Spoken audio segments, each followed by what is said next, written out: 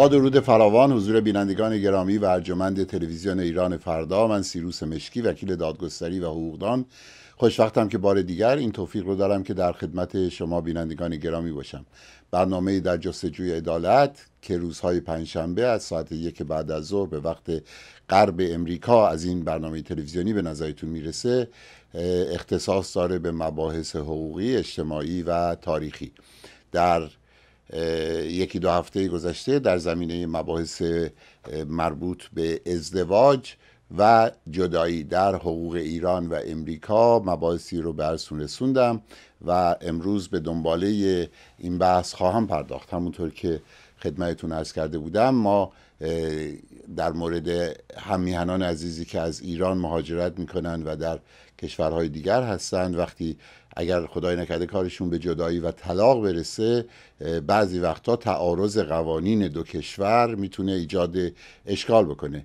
مهمترین اشکالی که در این زمینه ها پیش میاد مسئله حاکمیت کدام قانون هست؟ باید ببینیم اگر یک زن و شوهری که ایرانی هستن و در ایران ازدواج کردن و بر طبق مقررات فقه اسلامی در ایران وارد عقد یا مقررات مذهب خودشون وارد رابطه زناشویی شدند و یک سندی رو اونجا تنظیم کردن به صورت عقدنامه یا کتوبا یا هرچه و بعد در یک کشور دیگه در یک سال دیگری می‌خواهند جدا بشوند آیا مقررات این کشور جدید باید حاکم باشه بر جدای اینها یا مقررات قانونی سندی که خودشون امضا کردن و قانون کشوری که اینها تبعی اونجا هستن و در اونجا ازدواج صورت گرفته. اشکال ناشی از یک مسئله است که به تنیس بین المللی یا راکت بین المللی معروفه و اون مسئله تعارض قوانین هست در مکان.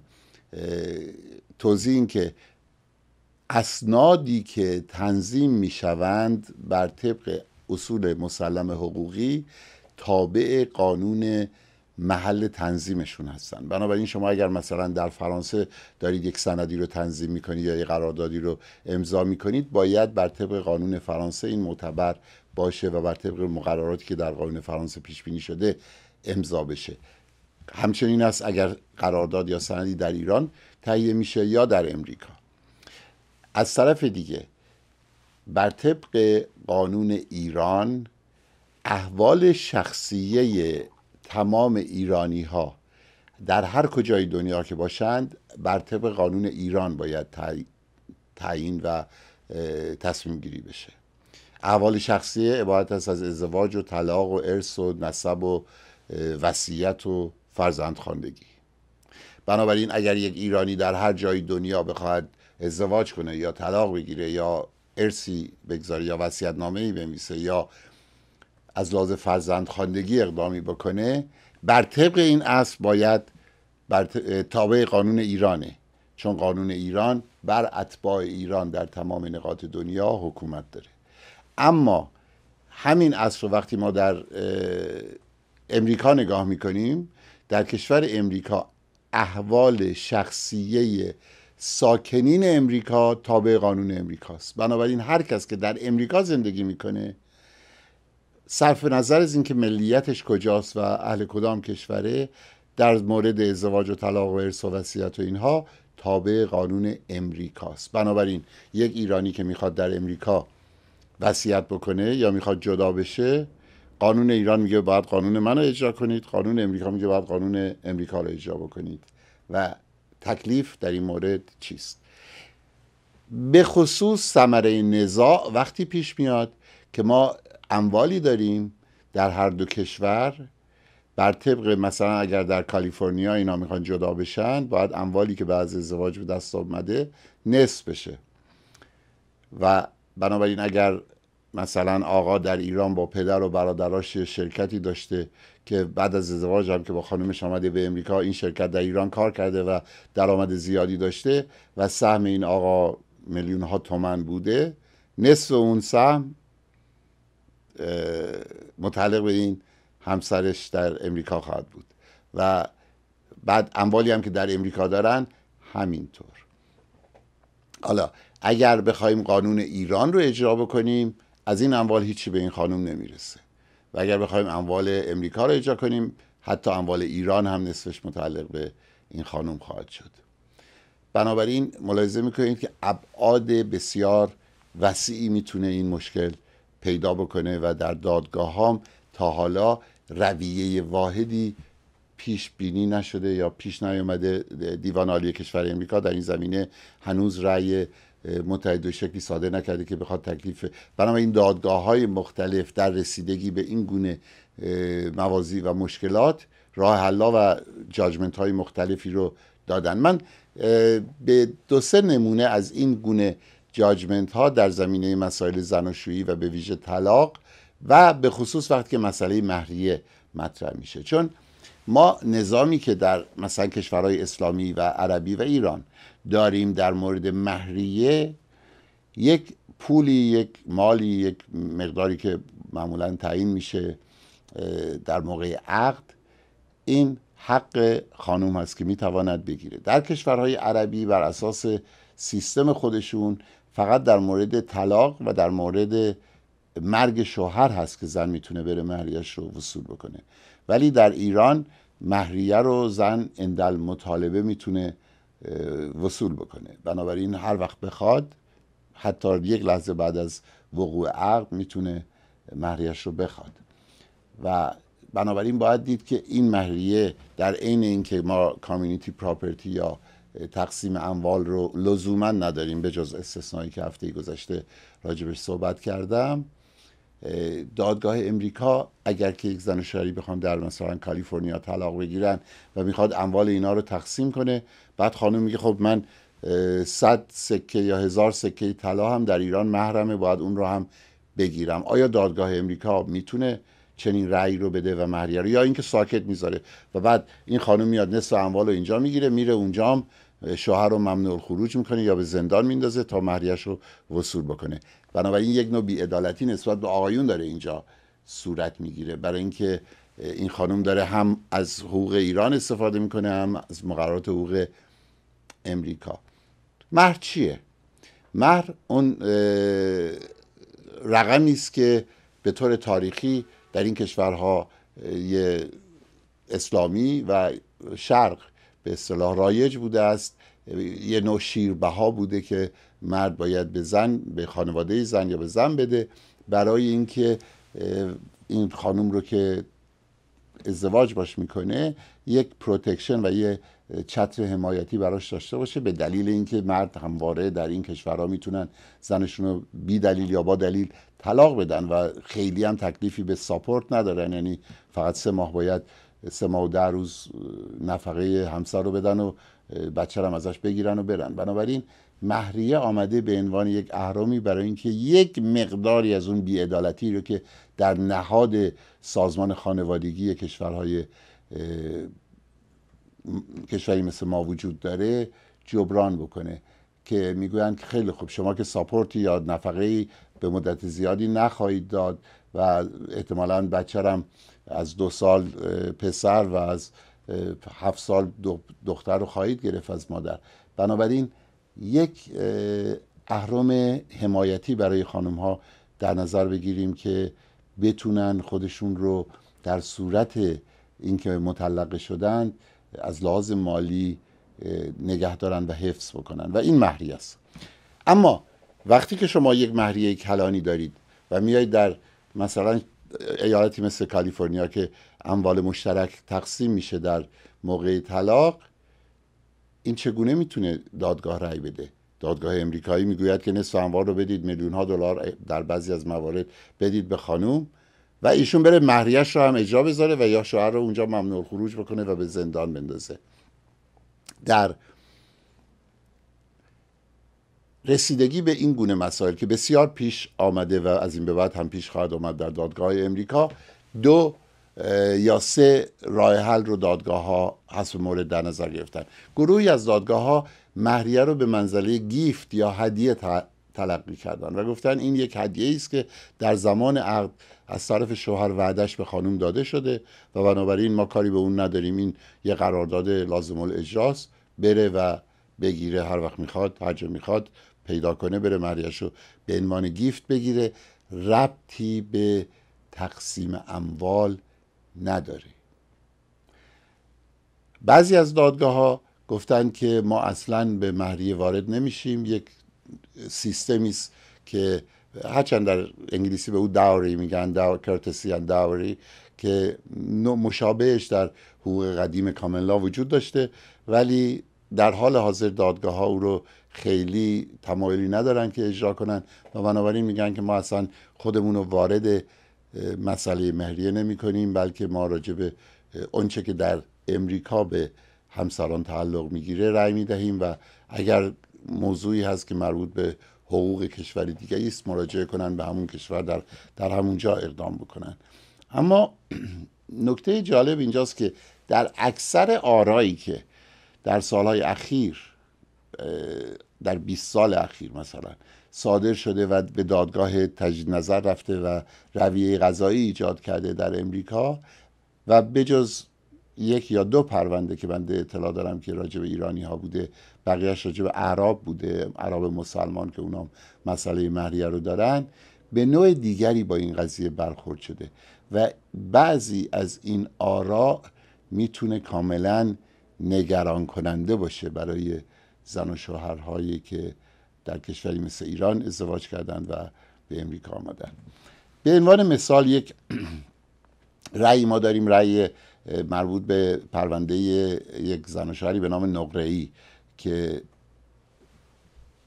این زن و شوهر در 1985 ازدواج می‌کنند و در طی اون کتوبا یا سندی که بین یهودیان رد و بدل میشه در موقع ازدواج پیش بینی می‌کنند که اگر که به جدایی رسید این ازدواج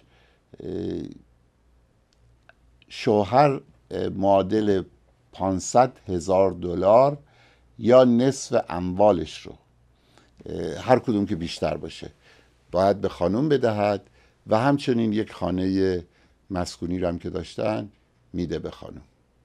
این در موقع عقد پیش بینی میشه. یعنی به صورت یه پریناپچال اگریمنت یا یه قرارداد پیش از ازدواج. بعد از چند سال که کار این زن شوهر به جدایی می‌رسه پرونده میره به دادگاه و شوهر مدعی می‌شود که این غیر عادلانه است که من بخوام به خاطر یه ازدواج نسبتا کوتاه مدت هم نصف اموالمو بدم هم یه خانه بدهم و اصولا این شرط برخلاف نظم عمومی است. به یک موزیک ویدیو توجه بفرمایید. باز میگردم به دنباله این بحث.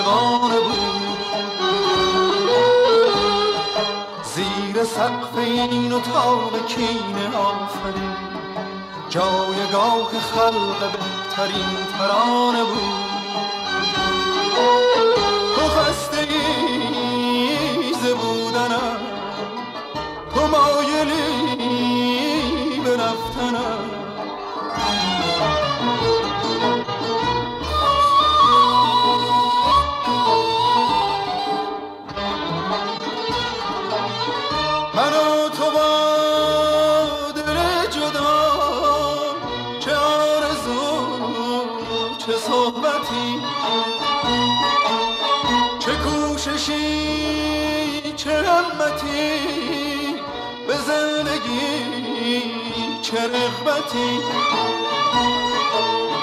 تو خسته ای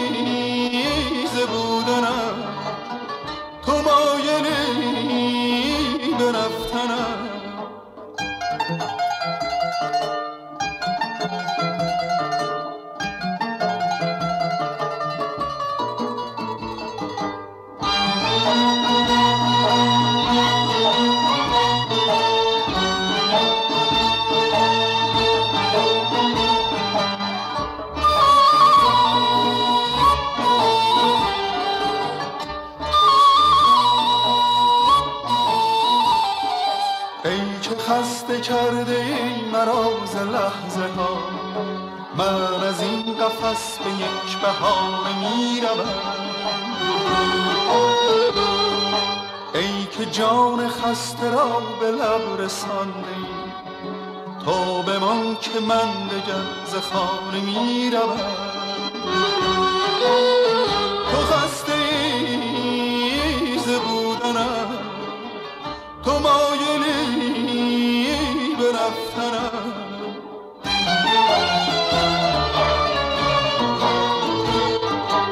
باز میگردیم به دنباله برنامه در مورد پرونده نقره صحبت می‌کردم که رئیس که در سال 1985 صادر شده از دادگاه تجدید نظر کالیفرنیا و در اون زن و شوهری که بر طبق قوانین یهود در کالیفرنیا ازدواج کرده بودند و قرار شده بود که بعد از جدایی یا در صورت جدایی 500 هزار دلار یا نصف اموال مرد به این خانم تعلق بگیره به اضافه یک خانه. و این ازدواج بیشتر از هفت ماه و نیم به طول نمی انجامه. و بعد از هفت ماه و نیم که به دادگاه میرن در وکیل آقا وکیل شوهر ادعا می کند که این قرارداد باطله برای اینکه بعد از هفت ماه و نیم واقعا انصاف و عدالت نیست که شما 500 هزار دلار یا و یک خانه مسکونی رو بگیرید و بدهید. به اون و بنابراین دادگاه باید این رو غیر قابل اجرا اعلام بکنه. رأیی که در دادگاه تجدید نظر صادر می شود این است که این قرارداد برخلاف نظم عمومی در کالیفرنیا بوده است برخلاف پابلیک پالیسی بوده است. و دلیلش هم این است که اصولا شرایطی که زن و شوهر در موقع عقد انجام بدن. اگر مبتنی بر نوعی تشویق انکارج کردن به جدایی باشه مثلا بگن که در موقع جدایی 5 میلیون دلار یا یه میلیون دلار یا فلان مبلغ به زن تعلق می‌گیره. رویه قضایی در امریکا این است که میگن این گونه شرط ها که یه پول قابل توجهی رو به یکی از همسرها در موقع جدایی بخواید بدید و اینو شرط بکنید در واقع تشویق کردید به منحل کردن رابطه زناشویی و این برخلاف نظم عمومی امریکاست برخلاف public against public policy ه و بنابراین اون شرطی رو که در اون کتوبا در اون پرونده پیش بینی شده بود و بعد از هفت ماه و نیم چون گفتن که اگر ازدواج 20 سال 30 سال طول می‌کشید خب شرط منطقی بود. ولی بعد از هفت ماه این خانم آمده تقاضای جدایی کرده و گفته نصف اموال آقا رو به من بدید و یک خانه. و بنابراین این نوعی خود این شرط محرک و مشوق و موجد این طلاق بوده و لذا غیر قانونیه و به قانون تعلق نمی‌گیره. پرونده دیگری ما داریم به نام شبان که مال سال 2001 هست و این البته زن و شوهرش مصری بودند در موقع عقد که در مصر واقع شده بوده پدر عروس میاد با داماد یک قرارداد رو امضا می‌کنن یک ورقه یک ورقه یک صفحه کاغذ رو امضا می‌کنن که در موقع طلاق فلان مبلغ به عنوان مهریه به این خانوم به دختر خانم این آقا داده بشود. و وقتی که میان اینا در امریکا و در اورنج کانتی کارشون به جدایی می‌رسه و به دادگاه مراجعه می‌کنن زن این ورقه رو می‌بره به دادگاه به عنوان اینکه این پریناپچوال اگریمنت قرارداد قبل از ازدواج و تقاضا می‌کنه که مبلغی که در او پیش بینی شده دادگاه رأی بدهد که بهش بدهند و دادگاه امریکا این رو هم رد می‌کنه. به دلیل اینکه می‌گوید قراردادی که خود این خانم امضا نکرده و پدرش به عنوان نماینده و از طرف او امضا کرده کافی نیست که یک قرارداد معتبر شناخته بشه. چون اصولا بر طبق قانون در امریکا هر قراردادی که مسائل مالی باشه بالای 500 دلار باید حتما کتبی باشه باید به صورت نوشته و امضا شده باشه. و چون اون ورقه رو پدر عروس خانم در موقع عقد ازدواج کرده نه خود عروس خانم. و بنابراین اصلا قراردادی وجود نداشته. و لذا این خانم نمی‌تونسته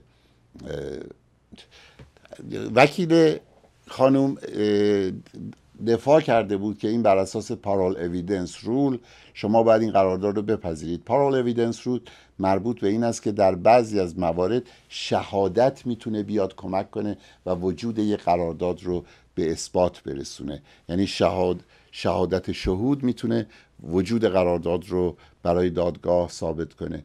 ولی دادگاه تجدید نظر این رأی رو این استدلال رو نمیپذیره و می‌گوید که ما در مقابل پارول اویدنس رول یک اصل دیگری داریم به نام استاتوت آف فرادز یعنی برای جلوگیری از تقلب و کلاهبرداری قراردادهای بالای 500 دلار باید حتما کتبی باشه و نوشته باشه و امضا شده باشه و چون چنین چیزی وجود نداشته و خانم اینو امضا نکرده بوده. بنابراین این مهریه قابل وصول در امریکا نیست. در پرونده دیگری دجانی که این هم یک پرونده عربی زنشار عربی بودن که در خارج از امریکا ازدواج کرده بودن و شرط کرده بودن که مهریه تعلق بگیره به خانوم و در دادگاه وقتی میاد این پرونده کارشناسانی که از برای وکلای زن و شوهر میان شهادت میدن می‌گویند که بر طبق مقررات اگر اشتباه نکنم مربوط به اطوای اردن بوده. می‌گویند که در اونجا مهریه فقط در موقع طلاق و در موقع مرگ شوهر قابل مطالبه است. و دادگاه می‌گوید که این مهریه اگر که فقط در موقع طلاق یا مرگ قابل مطالبه باشه در واقع باز یک محرک و مشوقی برای زن می‌تونه باشه که بره تقاضای طلاق بکنه. بنابراین برخلاف قوانین حسنه و اخلاق حسنه است در امریکا و غیر قابل نفوذ هست غیر قابل اجرا هست. و لذا در اون پرونده هم مهریه رو غیر قانونی دونست دادگاه و نپذیرفت. پرونده دیگری باز در زمینه مهریه جالب توجه است. پرونده بلیو که مال سال 2003 هست و در دادگاه تجدید نظر کالیفرنیا مطرح شده. در اینجا داستان یک مرد هفتاد و یک ساله که میلیاردر بوده با یک خانم چهل و هشت ساله که جدا شده بوده از همسر قبلیش. ماهی 993 دلار ساپورت دریافت می‌کرده از همسر قبلیش. 24 سال زن اون قبلی بوده. و یک درآمد مختصری هم از کارش داشته. مایی یا سالی در دوازده هزار دلار. یعنی از لحاظ مالی کاملا اینها غیر متعادل بودن. مرد میلیاردر بوده ولی مسن 71 ساله زن جوان بوده 47 ساله ولی بسیار لحاظ مالی ضعیف و متکی هم بوده به 990 دلاری که از همسر سابقش نفقه دریافت می‌کرده. در موقع عقد خانم می‌گوید که من اگر با تو عقد کنم ازدواج کنم ساپورتی رو که از همسر سابقم می‌گیرم به مقدار 990 دلار در ماه از دست میدم. و اگر تو منو طلاق بدی من اونو از دست دادم تو هم از دست دادم. بنابراین به کلی از لحاظ مالی در مزیقه قرار خواهم گرفت. و در اونجا پیش بینی می‌کنن یک سندی رو امضا می‌کنن که اگر اینها جدا شدند این ازدواج در امریکا صورت می‌گیره. اگر جدا شدند مبلغ 100 هزار دلار این آقای میلیاردر به این خانوم پرداخت خواهد کرد. اتفاقا یک سال بعد آقای بلیو تقاضای طلاق می‌دهد به دادگاه و می‌خواد از این خانوم جدا بشه. و وکیل آقای بلیو برای اینکه همین سه هزار دلار هم این نده اعلام می‌کنه که این برخلاف پابلیک پالیسیه. چون گفتن در موقع طلاق ما سه هزار دلار میدیم بنابراین یه جور مشوق و محرک به طلاق و لذا باید جلوشو گرفت. دادگاه نخستین این رأی رو میپذیره این نظر رو میپذیره و می‌گوید که بله این سه هزار دلار رو به این خانم ندید. حالا شما ببینید که نتیجه فاجعه باری که این رأی دادگاه اول به بار میاره در زندگی این خانم چی بوده؟ خانم 48 سالشه. شوهرش پنج... شوهر سابقش 52 سالش بوده. بنابراین شانس این که تا 20 سال دیگه 40 سال دیگه زندگی کنه وجود داشته و بنابراین تا 30 40 سال دیگه این خانم قرار بود ماهی 990 دلار حداقل بگیره از اون شوهر سابق بابت ساپورت و نفقه. اما با ازدواج با مرد 71 ساله میلیاردر و طلاق بعد از یک سال ساپورت هم از دست داده. دادگاه نخستین هم گفته 3000 دلار هم که قرار بوده به جای اون ساپورت از دست رفته باشه اون هم غیر قانونیه. پرونده به دادگاه تجدید نظر میره. در دادگاه تجدید نظر خوشبختانه قضات تجدید نظر متوجه این نکته می‌شوند و می‌گویند با توجه به شرایط حاکم بر این پرونده شرط 100 هزار دلار در موقع طلاق برای این خانوم شرط لازمی بوده شرطی بوده که برای حفظ و حمایت از اون در واقع واجب بوده و شرطی نبوده که محرک و مشوق و وادار کننده طلاق باشه و بنابراین شرط معتبره قابل قبوله و این خانم می‌تونه 3000 دلار رو وصول کنه. در مواردی که عرض کردم مواردی است که به دادگاه تجدید نظر رسیده و آرایی صادر شده که برای دادگاه های پایین تر قابل اتباع هست لازم اتباع هست. ولی بسیاری از پرونده ها رو بنده دیدم که افرادی که مهریه و نفقه و اینهاشون مورد اشکال بوده یا نخواستن یا نتونستن به دادگاه بالاتر برند و بنابراین رأی که رویه ایجاد کنه پیدا نشده. ولی به هر حال مسئله مهریه و مسئله تقسیم اموال ایران و خارج از ایران در موقع جدایی یکی از مسائلی است که همچنان مطرح در یک پرونده ای که بنده اخیرا دخالتی داشتم. خانومی که زن و شوهری که در ایران ازدواج کرده بودن و در امریکا طلاق می گرفتند استنادش به این شرط تقسیم درآمدهای حاصل در زمان زناشویی بود که من هفته گذشته راجبش توضیح دادم در این برنامه و همچنین مهریه‌ای که در اقنامه ایرانی پیش بینی شده بود. دادگاه کالیفرنیا رأیی که داد این بود که شرط مربوط به تقسیم اموال در اقنامه ایرانی به دلیل اینکه تبعیض هست بین اختیار زن و مرد برای مراجعه به دادگاه طلاق و زنها حق کمتری دارن شرط غیر قابل قبوله برخلاف پابلیک پالیسی در امریکا. ولی مهریه رو چون به عنوان یک گیفت یا یک هدیه تلقی میشه می‌تونه زن بره و مطالبه کنه در ایران. اما هر چقدر که وصول بکنه از اموالی که در امریکا بهش می‌رسه باید کسر بشه. تا هفته آینده شما را به پروردگار بزرگ میسپارم و از کارگردان فنی برنامه آقای سپر هم سپاس گذارم